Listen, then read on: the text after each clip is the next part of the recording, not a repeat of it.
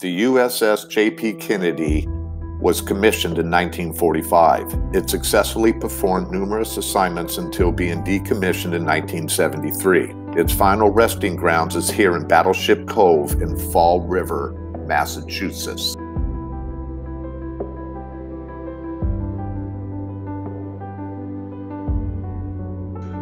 Deck or mid deck on the USS J.P. Kennedy destroyer.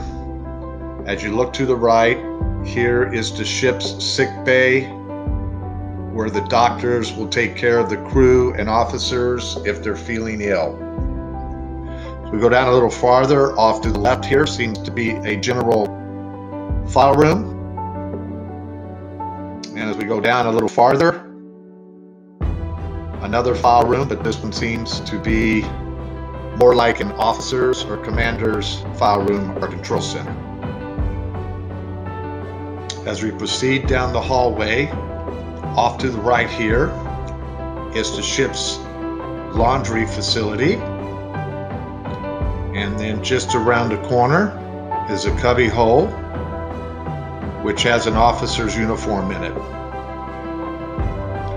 As we walk a little further down the hallway, you can see various utility boxes and control valves that keep the ship operable.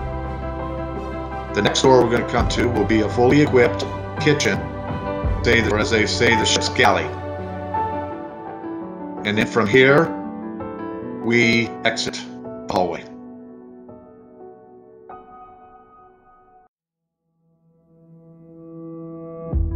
This is Anthony. We're here on the USS JFK, and I just got done talking with uh, an ex-Navy person that, that uh, has served on one of these vessels. And this is what is called an ASROC missile. And what it does is it is launched from uh, this ship, and when it gets above its target, it then launches a torpedo that goes in the water, follows the submarine until it finds its designated point and blows up.